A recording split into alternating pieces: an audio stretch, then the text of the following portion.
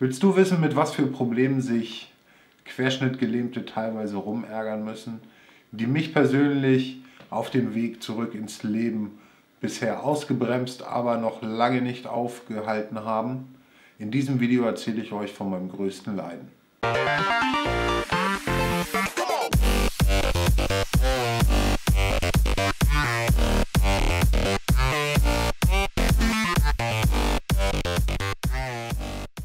Hey, willkommen zurück. Schön, dass ihr wieder eingeschaltet habt.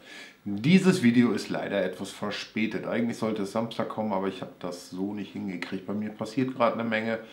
Heute möchte ich euch mal etwas über ein für mich sehr leidvolles Thema erzählen, welches mir schon etliche Qualen bereitet hat und mich trotzdem von meinen Zielen und Träumen nicht abhalten wird. Und zwar ist es das Thema Spastik. Spastik sind unkontrollierte Muskelzuckungen, die aufgrund von Defekten im Nervensystem entstehen können. Am besten lässt sich sowas vergleichen, wenn man kurz vorm Einschlafen ist, der ganze Körper einmal zuckt und man danach wieder hellwach ist. Ja. Das habe ich nur sehr viel stärker und wen es interessiert, in die Beschreibung packe ich dann einen Link, wo es genauer beschrieben wird. Die Spastik kann echt nützlich sein. Sie sorgt zum Beispiel dafür, dass die Muskeln nicht zu sehr abbauen durch die Muskelkontraktion, also die Bewegung in den Muskeln selber. Sie sorgt dafür, dass das Blut gut durch den Körper zirkuliert. Sie sorgt dafür, dass einige Leute stehen können, einige Leute greifen können. Sie sorgt auch dafür, dass man nicht so anfällig ist für Druckstellen also für Dekubitusse. Zu dem Thema Dekubitusse mache ich vielleicht nochmal ein Video. Jetzt ist erstmal das Thema Spastik dran, also weiter im Text. Das Thema Spastik hat für mich eigentlich recht harmlos angefangen. Also es hat erst der rechte Ringfinger gewackelt, das sah auch am Anfang noch ganz lustig aus. Als es dann langsam durch den Körper gezogen ist, bis in die Beine, war es dann nicht mehr so lustig. Es wurde immer stärker und immer stärker. Ich habe extreme Qualen mittlerweile erleiden müssen. Und zwar habe ich zum Beispiel mitten in der Nacht angefangen gegen die Wand zu treten. Das ging dann gute drei Stunden so. Wo ich immer wieder mal nur etappenweise gepennt habe. Am nächsten Morgen habe ich einen ja, halben Fußball großen Blutfleck an der Wand gehabt und ein ordentliches Stück Tapete im Knie. Ich bin zum Beispiel dann auch mal am Bahnsteig fast aufs Gleis gefallen. Ja, hätte ich nicht im letzten Moment jemanden gehabt, der mich von hinten festhält, wäre ich unten gewesen. Ich bin nachts durchs Bett gewandert und im wahrsten Sinne des Wortes durchs Bett gewandert. Also ich habe sie dann irgendwann am Bettende fixiert, die Beine, sodass sie sich nicht mehr lang machen konnten. Ja, Pustekuchen, dachte, habt dann Ruhe. Nee, irgendwann hat die Spastik gelernt, okay, dann machen wir nicht mehr die Füße lang, wir machen dann einfach mal die Oberschenkel lang. Dementsprechend bin ich dann schön irgendwann diagonal im Bett aufgewacht, beziehungsweise ich war dann diagonal im Bett, aufgewacht bin ich ja schon durch das ganze Zucken und musste den Pflegedienst holen, so nach dem Motto, lagert mich mal um. Mit das krasseste an der Spastik waren die rasenden Kopfschmerzen, die ich irgendwann entwickelt habe. Das war so schlimm, dass ich durch diese Verkrampfung einen Blutdruck von über 200 hatte und man ja, das Gefühl hatte, dass die Leute mit einer gusseisernen Pfanne immer schön auf den Kopf reinbrettern. Also das hat mich richtig fertig gemacht, aber das Schlimmste an der Sache war, dieser erhebliche Schlafmangel. Du hast in einer Nacht nicht durchgepennt. Du hast in der nächsten Nacht nicht durchgepennt. Du hast danach nicht durchgepennt. Wenn das hochkommt, hast du vielleicht mal zwei Stunden die Nacht gepennt. Bist am nächsten Tag aufgestanden, hast deine Schule gemacht, hast deine Arbeit gemacht, bist nach Hause gekommen, warst fertig, konntest noch nicht ins Bett, musstest noch warten, hast gewartet, bist ins Bett, bist eingepennt, das gleiche Spiel von vorne. Stunde später bist du wieder wach, weil die Beine zucken, dann schläfst du wieder 10 Minuten, dann bist du wieder wach. Und das geht so ewig weiter. Natürlich ist aufgrund des Schlafmangels irgendwann die Psyche auch im Arsch. Tablettenmäßig war ich mit Tolparison, Dantamakrin und Baclofen auf dem Maximum angekommen, was möglich war. Zwischenzeitlich hatte ich dann auch nochmal Diazepam und so, was aber dann irgendwann nicht mehr gewirkt hatte und ich fressen konnte wie Vogelfutter. Bei der Spastik hilft natürlich auch das Cannabis, dem allseits beliebten bzw. bekannten Kiffen. Wobei man natürlich das Cannabis auch anderweitig zu sich nehmen kann und nicht unbedingt rauchen muss. Das Kiffen wurde mir schon von allen möglichen Seiten während meiner Reha nahegetragen und sagten dann, Sascha, rauch mal ein, es hilft. Doch selbst mit Cannabis gab es Grenzen und es fing an, mich zu sehr auszubremsen ohne einen richtigen Nutzen. Dementsprechend hatte ich dann das dann auch beiseite gelegt. Auf das Thema Cannabis komme ich aber in einem anderen Video zurück. Es gab dann leider für mich nur noch eine Möglichkeit, um mit der Spastik klarzukommen und das ist die Intrathekalpumpe.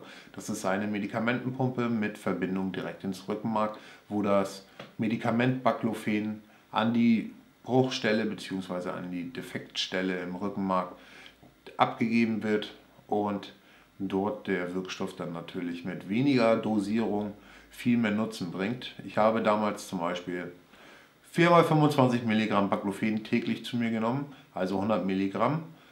Jetzt habe ich aktuell 21 Milligramm für vier Wochen.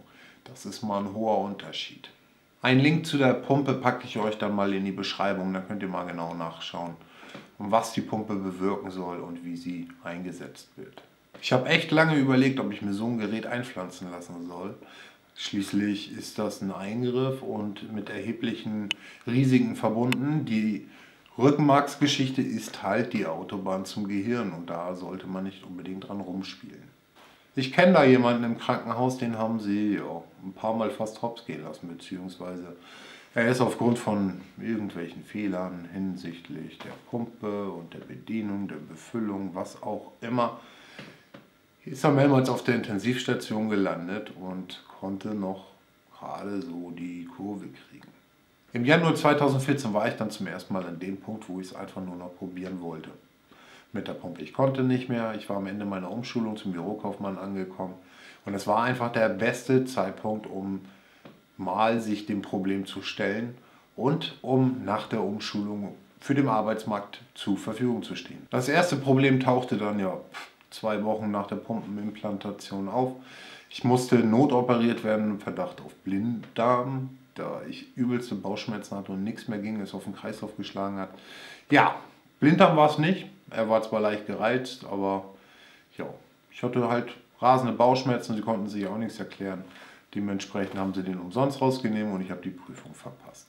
Da ich leider zwei Stunden zu spät da war, konnte diese aber natürlich dann eine Woche später nachholen zum Glück, so dass ich keinen wirklichen Zeitverlust hatte.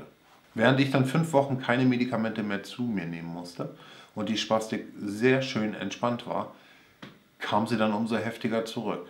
Ich habe wieder angefangen mit den Tabletten nehmen, die Pumpe wurde dauernd weiter gesteigert, ich musste noch zweimal ins Krankenhaus rein, dann haben sie nochmal getestet, ob die Pumpe überhaupt funktioniert, haben das eine Mal mich nur wegen der Dosissteigerung da gehabt. Im September war es dann soweit, ich bin morgens aufgewacht. Ich hatte übelste Schmerzen im Bauch, die aus dem unteren Bauchraum, dort wo ungefähr die Pumpe eingepflanzt war, Richtung Herzen gewandert ist und sich beim Herzen festgesetzt hat.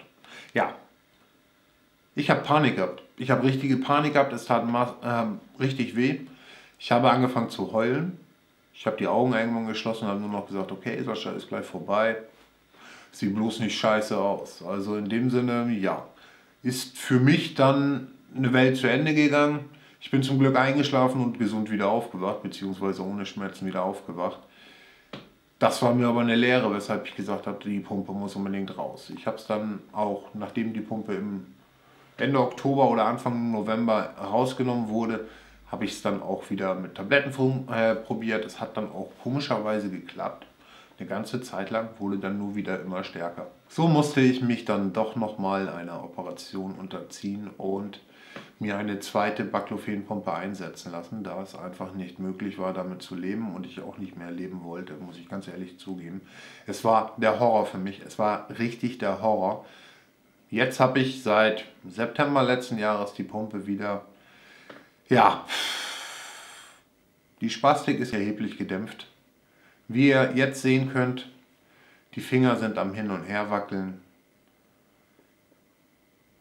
Und was am heftigsten ist, schaut euch mal an, wie die Beine da am Rumzappeln sind. Und das Zappeln und das Zappeln und das Zappeln.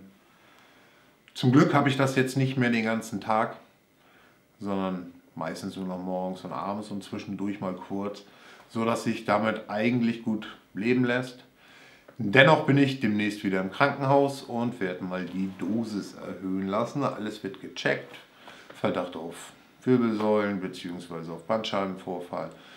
gucken, ob die Pumpe funktioniert etc. pp. Ja, so ist das leider mit der Gesundheit. Man steckt nicht drin, aber man ist mittendrin. Ein Gutes hat die zweite Pumpe auf jeden Fall. Seitdem die Spastik erheblich gedämpft ist, kiffe ich nicht mehr. Ich kiff nicht mehr, ich kriege was auf die Reihe, ich kann meine Zukunftspläne wieder voll in Angriff nehmen, bis auf jetzt mal eben so einen kleinen Krankenhausaufenthalt, aber hey, ist doch irgendwie wie Urlaub, ich kenne die da alle. Also ich habe mein entspanntes Leben dort. Es ist natürlich ein bisschen langweilig, aber ich werde die Kamera mitnehmen und dann schauen wir mal. Das Leben ist halt kein Ponyhof. Es lässt sich manchmal nicht ändern, nur das Beste draus machen. Ich mache das Beste draus. Ich werde meine Wünsche und Ziele verfolgen. Wenn ich ausgebremst werde, ist es so. Und wenn ich mit Vollgas vorangehen kann, ist es umso besser. Wie sind eure Erfahrungen mit Spastik, mit anderen Krankheiten? Lasst ihr euch davon ausbremsen? Habt ihr Stillstand im Leben?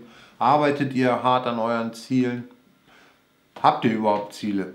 Schreibt es mir mal in die Kommentare, interessiert mich. Mir fehlen übrigens noch fünf Fragen für das Frage-Antwort-Special. Ich wollte zehn Fragen zusammen haben, damit es sich wirklich lohnt. Fünf fehlen mir noch. Also, wenn ihr Fragen an mich habt, schreibt es mir auch mal unten rein. Damit bin ich nun am Ende angekommen, wenn ihr mehr über mein Leben mit Handicap, den Problemen und das, was man noch so erreichen kann oder auch erleben kann, erfahren wollt, dann abonniert doch den Kanal. Wir sehen uns im nächsten Video wieder. Ich wünsche euch bis dahin alles Gute. Es kommt übrigens Samstag, dann kommt wieder eins Montag und dann Donnerstag. Also bis dahin, Cheerio. Ich auch nicht mehr wollte, weil ich am Ende meiner Umschulung war. Ich habe die Umschulung zum Bürokaufmann ja, quasi schon beendet. Doppelt, dreifach, vierfach. Boah, Mann, Alter. Was ist die Spastik überhaupt? Ich kannte das bisher naja, was heißt. Ne. Was ist die Spastik? Beziehungsweise da vorgebogen. Vorgebogen. Und das war die Integra. Inter. Intratekal. Intratekal. Intratekal. Intratekal. Mann, ey, was für ein scheiß Wort. Rektal, Anal, Pumpe. Ja,